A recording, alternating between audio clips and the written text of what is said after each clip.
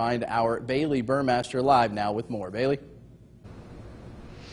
Hey, David. Boone Pickens Stadium rather quiet right now will not be the case on Saturday at 6 p.m. for that kickoff. Safety John Bonney calls it one of the hardest places to play in the Big 12. Meanwhile, defensive lineman Lonzel Gilmore specifically recalls the sound of the paddle people and where to find them. The unique upward build of the Boone Pickens Stadium gives it potential to be loud.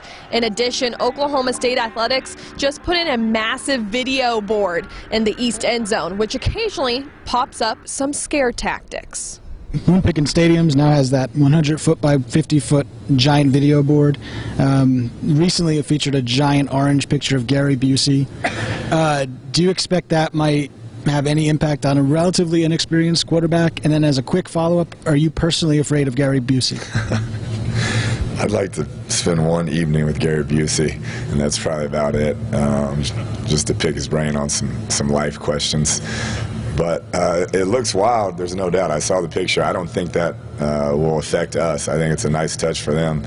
Um, whoever picked it, kudos for that, that crazy picture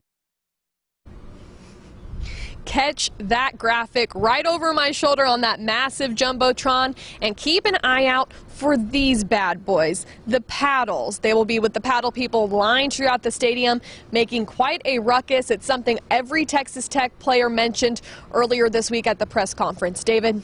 All right, we appreciate it, Bailey. Make sure you watch out as well. Trust me, I spent many a years on those sidelines trying to avoid those paddles hitting my head.